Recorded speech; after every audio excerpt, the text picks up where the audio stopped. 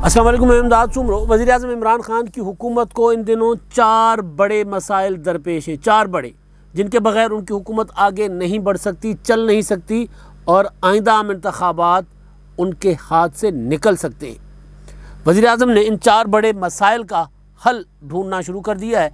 एक मसले का हल तो किसी हद तक उनको मिल गया है, लेकिन तीन मसले जो हैं, वो फंसे हुए हैं। इससे पहले कि मैं उन मसाइल पर जाऊँ एक वजाहत बहुत ज़रूरी है कल भी करना चाह रहा था लेकिन वो बात करते करते आ, बात जहन में नहीं रही।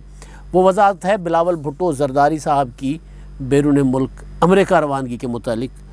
मीडिया पर ख़बर चली थी और गलती ये हो जाती है कभी कभी कि वो ख़बर सही समझ के उस पर मैंने हल्का फुल्का तस्करा कर लिया था अपने एक वीलॉग में परसों के जिसमें मैंने कहा था कि बिलावल भुट्टो जरदारी अमेरिका चले गए हुए तो बिलावल भुट्टो अमेरिका नहीं गए। वो दुबई में बैठे हुए कल ही दोबारा जब मैंने उस मामले पर पता किया कि जी वहाँ क्या मसरूफियात होंगी तो पता चला कि नहीं।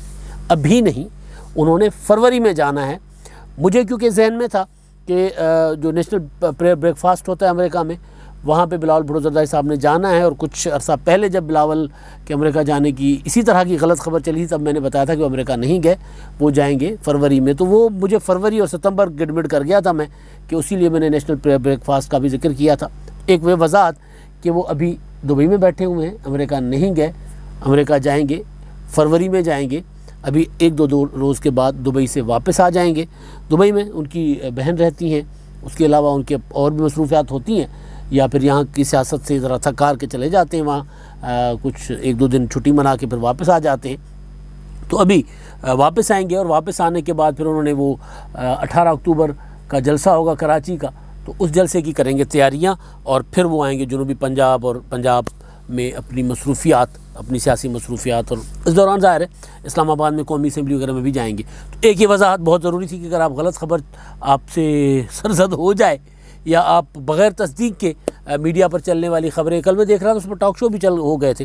बहरहाल तो माजरत के साथ ये वजाहत कबूल कीजिए। और अब वज़ी अजम इमरान खान साहब के चार बड़े मसाइल मैं अक्सर वो ज, आ, सुनाया करता होता हूँ एक सरायकी या ये जो हमारे झंग का इलाका है उसके एक एक बड़ा अच्छा मशहूर वहाँ का गाना है मेरे मसले डूम आइया एक बिजली डूझा तूम आइया तो वहाँ लाइट जब लोड शेडिंग के ज़माने में किसी शायर ने ये शायरी कर दी होगी और लोड शेडिंग अब भी होती है अगर आप निकलें देहातों में तो लोड शेडिंग तो अब भी है। तो बहरहाल वो इमरान खान साहब के मसाइल जो है ना वज़ी अजम साहब के वो दो नहीं हैं वो कई हैं। लेकिन जो सबसे बड़े मसाइल इन दिनों वो समझ रहे हैं, उनमें चार मसले हैं। एक मसला उन्होंने हल कर लिया हुआ है ख़बरों के मुताबिक कि वो जो शौकत तरीन साहब वाला मामला था, शौकत तरीन साहब को वज़ीर बरकरार रखने का मामला, अभी चंद रोज़ के बाद अक्टूबर के वस्त में वो वज़ीर नहीं रहेंगे अगर उन्हें सेनेट में मुंतखब नहीं करवाया गया। मैंने 22 सितंबर को अपने एक व्लॉग में गुजारिश की थी कि शौकत तरीन का मसला है क्या? उनको कहाँ से इलेक्शन लड़वाया जा सकता है? पंजाब से उनको इंतखब क्यों नहीं लड़वाया जा रहा? पंजाब से इमरान खान साहब क्यों डर रहे हैं? उन्होंने दो तीन दिन पहले इमरान खान साहब ने कहा था ना, पंजाब बेसिकली बैटल फ़ील्ड होगी। असल मैदान जंग होगा पंजाब। उस मैदान जंग में इमरान खान, शौकत तरीन साहब को उतारते हुए डरते हैं। उस हिंदी में कहते हैं, बब व्यू, छब व्यू। यानी ना दो हाथ में रहेंगी, ना छः हाथ में। छः के चक्कर में वो जो दो हैं, वो भी हाथ से चली जाएँगी। तो मुंतखब करवाने के लिए इमरान खान साहब सेनेटर जहाँ अपना शौकत तरीन साहब को, क्योंकि जब तक सेनेटर मुंतखब नहीं करवा, करवाएँगे उनको, या कम अज़ कम सेनेटर या एम एन ए यानी इलेक्टेड रुकन रुकन पार्लियामेंट नहीं होंगे तो वो वज़ीर नहीं रह सकेंगे।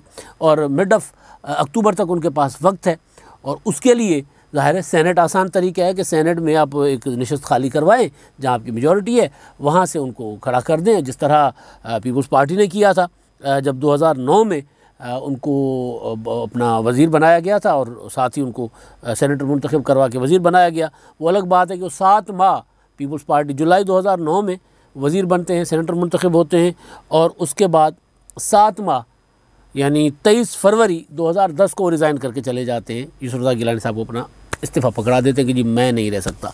तो बहरहाल तो वही ज़ाहिर है वही माम शौकत तरीन वही है पार्लियामेंट वही है और ज़ाहिर है, कानून भी वही है। लेकिन मसला ये है कि डर ज़्यादा है इमरान खान साहब का।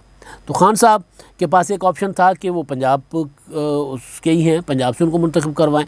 उनका वैसे तो सारा बिज़नेस वगैरह तो कराची में है, लेकिन हैं तो मुल्तानी पंजाब से ताल्लुक़ है उनका। तो उनको पंजाब से मंतखब करवाने के बजाय अब इमरान खान साहब ने फ़ैसला किया है कि उन्हें मंतखब करवाया जाएगा खैबर पख्तूनख्वा से। जहाँ पंजाब से मंतखब करवाने के लिए इमरान खान साहब डर रहे हैं, वहीं के पी के से भी हाथ डालते हुए खान साहब डर रहे थे कि वहाँ पे कोई और पेंडोरा बॉक्स खुलेगा, यहाँ पर शिकस्त, वहाँ पर बदनामी। मैंने बाईस सितंबर के व्लॉग में गुजारिश की थी कि पीटीआई के अंदर जो डिस्कशन चल रहा है शौकत तरीन साहब के हवाले से, जहांगीर तरीन बार बार वो जहन में आ जाते तरीन है। वैसे भी आपस में करीबी हैं लोग। तो खैर तो वो डिस्कस मैंने यही किया था कि के पी के में आपको याद होगा कि जब सैनट के इंतबात हो रहे थे इमरान खान साहब शो ऑफ़ हैंड के ज़रिए इंतबात चाहते थे तो शो ऑफ़ हैंड के ज़रिए इंतबात के लिए वो एक वीडियो लेकर आ गए थे। एक वीडियो आ गई थी मार्केट में ए आर वाई पर आई थी। ए आर वाई पर ने वो वीडियो चलाई थी। बाद में वो वीडियो गले पड़ गई थी पी टी आई को, क्योंकि वीडियो में नज़र आने वाले लोगों ने कहा, हमें तो पैसे परवेज खटक ने दिए हैं। वजी अला हाउस में बैठा कर स्पीकर हाउस में बैठा कर हमें पैसे दिए गए थे। और हमें वो जो मार्च में सेनेट इंतबात हुए, इससे पहले वाले सेनेट इंतबात का वो दिखाना चाह रहे थे कि जनाब सेनेट इंतबात अगर शो ऑफ़ हैंड के ज़रिए नहीं होंगे तो पैसा इस्तेमाल होगा। तो वहाँ पैसा लगा। और वो पैसा बताया गया कि जी जो सेनेट के जिनको टिकट दिया गया, उनसे पैसा सीएम साहब ने कहा कि जनाब उन्होंने पैसा दिया है पार्टी फ़ंड के लिए तो एक हिस्सा हम पार्टी फ़ंड में रखेंगे और एक हिस्सा आप लोग जो उनको वोट करेंगे, यानी पैनल्स बनते हैं ना, ग्रुप्स बनते हैं तो हर एक ग्रुप को अलग अलग पैसे दिए गए। तो आप लोग जो वोट करेंगे तो आप अपने आइंदा इंतबात के लिए अपने हलकों पर खर्च करेंगे, यानी अपने इंतबात पर खर्च करेंगे, क्योंकि इंतबात करीब थे। तो वो फिर मामला आ गया था सामने। अब यहाँ पर यह डर है कि कोई इसी तरह की वीडियो ना आ जाए, कोई सेनेटर ना आ जाए कि जी मुझसे तो पैसे लेकर खैबर पख्तूनख्वा में, क्योंकि खैबर पख्तूनख्वा में इल्ज़ाम लगा था। मैं उस पर इल्ज़ाम, मैं इल्ज़ाम नहीं लगा रहा, उस वक्त भी इल्ज़ाम लगा था जब टिकट तकसीम किए जा रहे थे जिस तरह बलूचिस्तान में इल्ज़ाम लगा था, एक साहब की तो टिकट वापस हो गया। फिर दोबारा फिर घूम, फिर के वो बाप से होके, फिर पीटीआई और सब के वो जॉइंट कैंडिडेट बन के सेनेटर बन गए बलूचिस्तान में। और सैफुल्ला अबड़ो सिंध में, लाड़काना से। तो इसी, उन पर वो वो भी इल्ज़ाम था कि वो भी उन्होंने भी कोई पार्टी फंड शंड दिया हुआ है। तो के पी के में खान साहब को ये डर था, पंजाब में जो डर था, वो बड़ा ख़तरनाक था। के पी के वाला डर किसी हद तक छोटा था, लेकिन इसी वजह से खान साहब ने वहाँ पर फैसला किया है कि उनको शौकत तरीन साहब को वहाँ से इंतखब लड़वाया जाए। लेकिन जिनसे, जिन दो चार सेनेटर से सीटें, सीट खाली करवाने का सोचा जा रहा है, उनमें एक शिबली भाई भी हैं, शिबली फराज साहब। वज़ीर साइंस और टेक्नोलॉजी, जिन्होंने इलेक्शन कमीशन को ऑफ़र किया था कि जनाब आप ये जो मशीनें बनवा रहे हैं ना, मेरी वजारत में रखवा दीजिएगा इलेक्शन के दौरान। यानी वो ये सोच रहे थे शिबली फराज साहब के वो तायात वज़ीर बन गए हुए हैं। तो उन्होंने वो इलेक्शन कमीशन में जो उनकी नेगोशिएशन चल रही थी इलेक्ट्रॉनिक वोटिंग मशीन जो इमरान खान साहब का एक और मसला है। तो बहरहाल तो वो वहाँ पर शिबली फराज साहब का नाम ज़्यादा आ रहा है कि शिबली फराज साहब को शायद सीट खाली करवा के फिर उनको वज़ी अजम का मुआवन या इस तरह का कोई ऑफ़िस दिया जाए ताकि वो जब तक शौकत तरीन साहब रहे, क्योंकि इनका रिकॉर्ड ज़्यादा लंबा रहने का नहीं है, मैंने बता दिया। पीपल्स पार्टी के ज़माने में से सात महीने वो रहे, सात महीने के बाद रिज़ाइन करके चले गए। तो शौकत तरीन साहब और दूसरों के लिए इसलिए नहीं सोचा जा रहा कि कहीं कोई नया पेंडोरा बाक्स ना खुल जाए। और पंजाब में डर ये है इमरान खान साहब के मसाइल के साथ साथ उनको डर भी है ना। और पंजाब में डर ये है कि अगर पंजाब से हम कोई सीट खाली करवाते हैं। एजाज चौधरी साहब का नाम चल रहा था माड़े से आदमी है। उनका नाम चल रहा था कि उनसे नशस्त खाली करवा लें। तो सीट खाली करवा लें। तो वहाँ ये ख़तरा ये था कि यहाँ पर सीक्रेट बैलेट होगा। सीक्रेट बैलेट तो के पी के में भी होगा लेकिन के पी के में क्योंकि सिंगल अगर आ, कोई और कैंडिडेट आ नहीं सकता क्योंकि पी टी आई की वहाँ पर टू थर्ड से भी ज़्यादा मेजोरिटी है। पंजाब में बिल्कुल नेक टू नेक है। पंजाब में मसला ये है कि अपोजिशन और हुकूमत बिल्कुल उन्नीस बीस का फ़र्क है जिस तरह सेनेट में कौमी असम्बली में था जहाँ हार गए थे हफीज़ शेख साहब। यूसुफ रजा गिलानी से तो कहीं वही ना तजुर्बा हो जाए। जहांगीर तरीन के लोग वैसे ही नाराज़ बैठे हुए और सीक्रेट बैलेट होगा, सीक्रेट बैलेट में पता चलेगा कि जनाब पंद्रह बीस वोट इधर उधर हो गए, आठ दस वोट इधर उधर हो गए तो हम तो गए।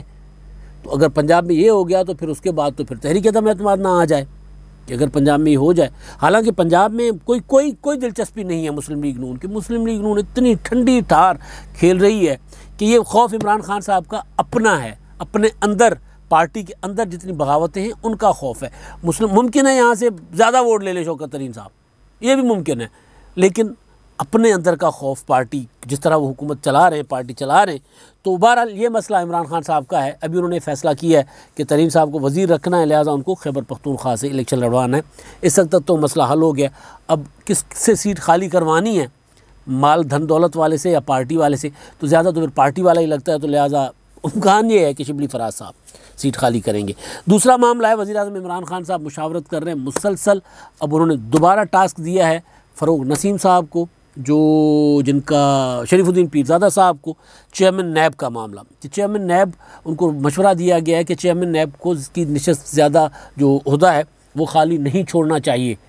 आज भी वज़ी अजम इमरान खान साहब ने वो बलूचिस्तान में जो अपना अफ्ताह किया एक सड़क का संग बुनियाद रखा तो वहाँ पर उन्होंने जो कहा कि जी हमारे उनको बताया आ, क्या नाम है उसका मुराद सईद साहब ने।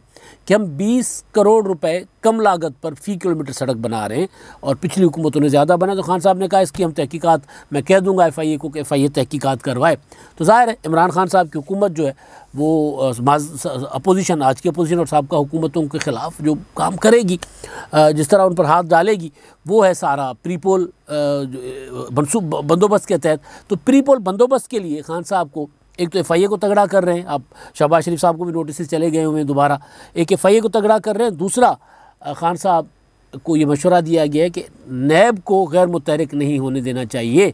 अगर चेयरमैन नैब का अहदा खाली हो गया तो फिर मसला होगा। तो उस पर एक राय ये आई है कि जब तक नए चेयरमैन नैब का मामला लीगली हल ना हो जाए कि शहबाज शरीफ से मुशावरत हो सकती है, नहीं हो सकती वज़ी अजम साहब के पास अख्तियार, जब तक इसका कानूनी हल निकाला जाए, तब तक इस चेयरमैन नायब साहब को रखा जाए, कोई ऐसा ऐसा कोई जुगाड़ लगाया जाए। अब यहाँ पर ये बड़ा बड़ा मसला फंसा हुआ इमरान खान साहब का।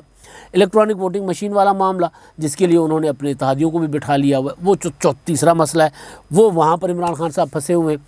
और उससे भी बड़ा मसला कि इमरान खान साहब इंतबात से पहले जिसको प्री पोल रिगिंग कहते हैं अपोजिशन कहती है, या सियासी मुखालफी एक दूसरे को कहते हैं, या इस्टबलिशमेंट पर इल्ज़ाम होता है प्री पोल रिगिंग का कि पार्टियों को तोड़ो, इधर से बंदे इधर ले आओ, उधर से बंदे इधर ले आओ, ये करो, वो करो, सारा बंदोबस्त करके इलेक्टेबल्स मिला के उसके बाद एक पार्टी खड़ी कर दो किंग्स पार्टी पाकिस्तान में होता रहा है। मुस्लिम लीग नून इसी तरह बनी थी, मुस्लिम लीग कायद अजम इसी तरह आई थी पी टी आई इसी तरह थी। तो किंग्स पार्टी मुतहदा कौमी मूवमेंट इसी तरह राज करती रही। तो वो प्री पोल बंदोबस्त जो है, वो प्री पोल बंदोबस्त तो इमरान खान साहब कर लें, मगर चीफ इलेक्शन कमिश्नर हाथ नहीं पकड़ा रहे चीफ इलेक्शन कमिश्नर से जितनी मुलाकातें हुई हैं वज़रा की, वो सारे मायूस लौटते हैं कि नहीं यार, ये नहीं बंदा काबू में आ रहा। ना ये काबू में आ रहा है, ना अपने अरकान को हमारे काबू में आने दे रहा है। तो लिहाजा इनका भी कोई बंदोबस्त किया जाए मुस्तकिल। चौथा मसला इमरान खान साहब का ये है, और चार में से जो सबसे आसान था, वो इमरान खान साहब ने हल कर लिया हुआ है, शौकत तरीन साहब वाला। यानी अब उनकी जो वज़ी ख़जाना है वो जो मैंने पिछले बाईस सितंबर के ब्लॉग में कहा था कि खदशा है कि अगर इनको नहीं मुंतखब करवाने का फ़ैसला होगा तो फिर ज़ाहिर वजारत वज़ी ख़जाना नहीं रहेंगे और मामिन वो रहना नहीं चाहते, मुशीर वो रहना नहीं चाहते, वो फुल फ्लेज वज़ीर रहना चाहते हैं। अगर उनको मुंतखब नहीं करवाया जाएगा, वज़ीर नहीं रखा जाएगा तो वो घर चले जाएँगे। एक ऑप्शन पंजाब में वो सोच रहे थे कि जी इसाक डार साहब को नाहल करवाया जाए और ये तो वो लिटिगेशन में मामला चला जाएगा, इसाक डार अदालत में चले जाएँगे, अदालत में स्टे आ जाएगा, लंबा मामला चला जाएगा, फिर भी शौकत अज़ीज़ साहब, शौकत तरीन साहब जो हैं, शौकत अज़ीज़ भी इसी तरह आए थे वैसे, शौकत तरीन साहब जो हैं, वो वज़ी ख़जाना नहीं रह पाएँगे। लिहाजा वो छोटा सा मसला तो वो मसला इमरान खान साहब ने आधा हल किया अभी तक, पूरा हल वो भी नहीं किया। तो चार मसले हैं खान साहब के, गवर्नेंस कोई मसला नहीं है, आइंदा आम इंतबात खान साहब के लिए सबसे बड़ा मसला है, जिसके लिए वो जुगाड़ लगा रहे हैं, एक जुगाड़ लग गया तीन बाकी हैं। अब तक के लिए इतना ही, अल्लाह हाफिज़।